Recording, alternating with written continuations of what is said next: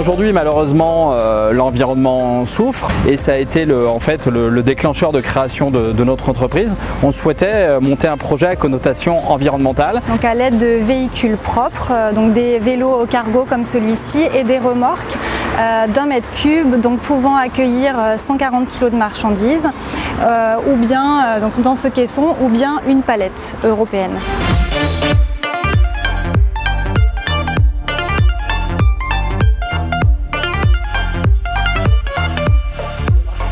Viens d'aller euh, récupérer un colis donc chez Cvélo, donc euh, Cvélo qui est en charge de toute la flotte des vélos en libre service sur Clermont-Ferrand. Nous récupérons les colis, euh, nous les transférons ensuite à notre entrepôt et c'est un autre transporteur qui prend le relais pour les envois au national.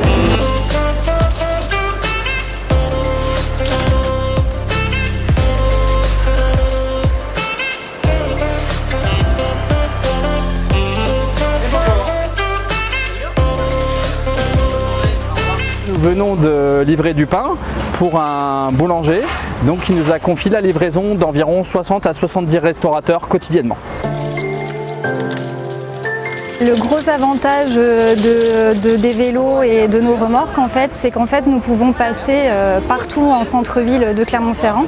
Donc, on a une véritable accessibilité au niveau du secteur piétonnier. Ce qui n'est pas le cas pour les véhicules thermiques, qui à partir de 11h le matin ne peuvent pas livrer le centre-ville. Nous pouvons passer entre les potelets qui se relèvent à, à, 11h du matin, notamment, et qui nous permet de, de passer euh, toute la journée.